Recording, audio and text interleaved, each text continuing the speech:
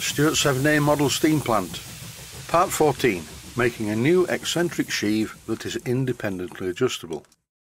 At the top of the image on screen at the moment is the original eccentric strap and eccentric sheave that was fitted to the engine before I fitted the reversing gear. And on the left is the eccentric sheave after I machined away the part that I didn't want. Originally, to save time, I was going to use the sheave from the original eccentric. But it didn't fit, it was too big for the reversing gear strap. I'll just have to make a new one. The original eccentric sheaves were machined as a pair. I'm going to make one that's independently adjustable, and here I'm measuring the diameter. All I need to do now is find a suitable piece of metal.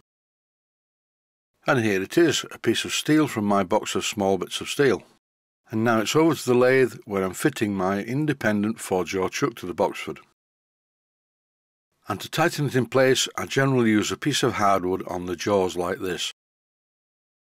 It's never a good idea to use the chuck key to tighten the chuck in place. The alignment begins.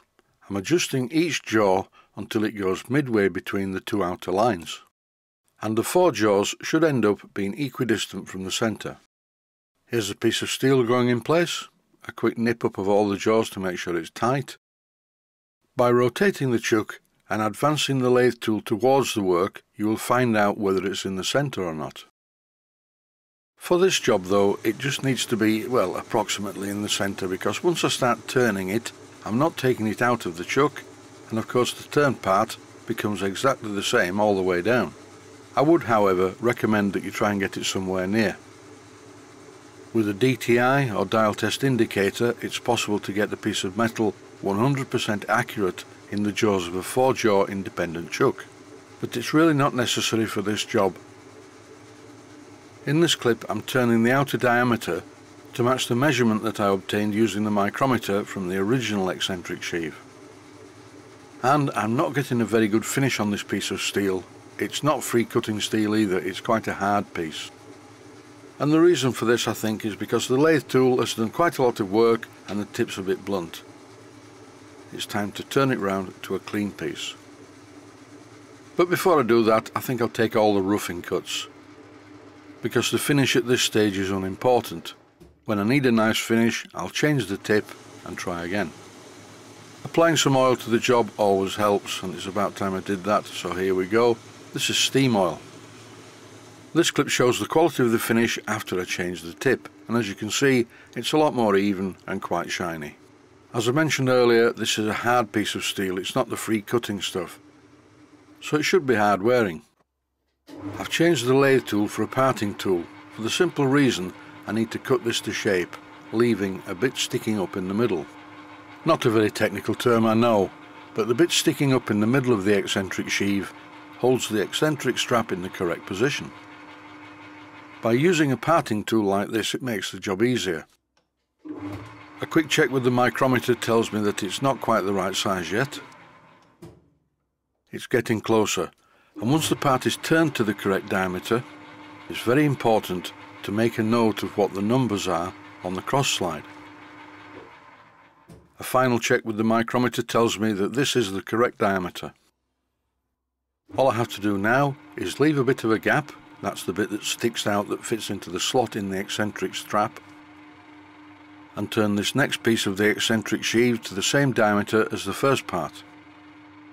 That's why it was very important to make a note of the numbers on the hand wheel. By the way, I forgot to mention that I am making two eccentric sheaves, and why am I doing that? Well, in case I mess up the first one. I always do this, it seemed over the years to be quite a good thing to do, because if you make a mess of it, you don't have to start again, you have a second eccentric sheave on the same piece of metal. And I'm also turning the middle section for a greater distance so I can get the micrometer in between the two sticking out bits. And that's about it for the plain turning aspect of this job. In this clip I'm trying one of the eccentric straps in place to make sure that it fits and thankfully it does. And it fits on both of the eccentric blanks. In this clip I'm using a file and I'm filing the original steel. I'm making this mark so I can refit the part in the chuck with the mark against the original jaw. Onto the bench now with the eccentric sheave blank. and I'm marking the position to drill the hole for the crankshaft. This hole will be 5 16 of an inch in diameter and 9 64 of an inch from the centre. This will give the correct throw to operate the valve.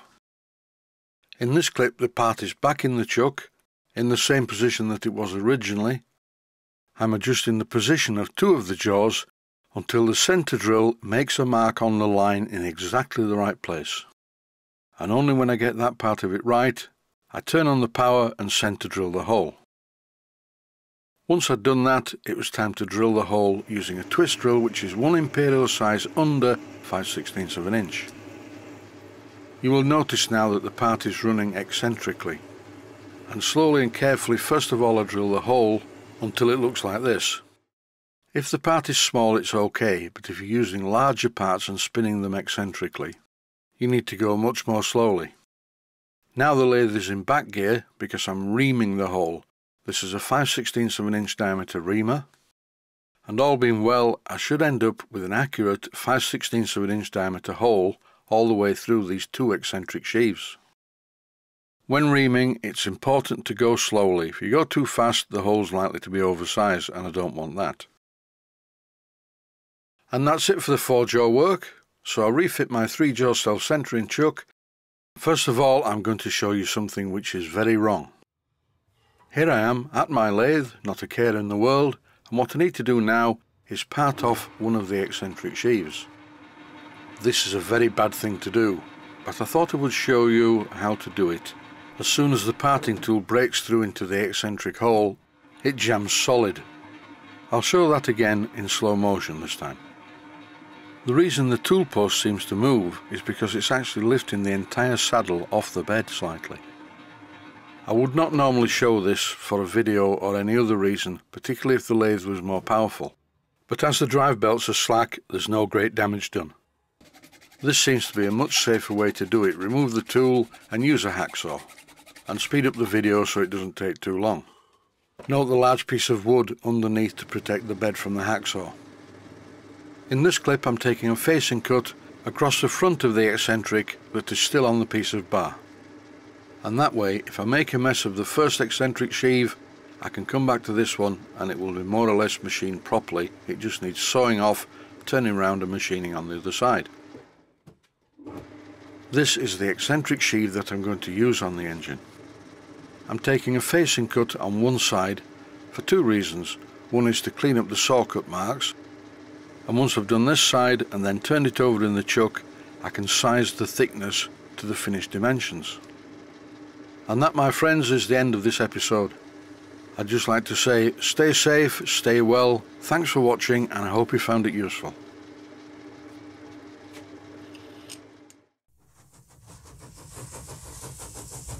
Please take the time to visit my Mainsteam Models website. Click on the section of the website that says Video Playlists and by doing that you will find it very easy to find other videos that you may like to watch.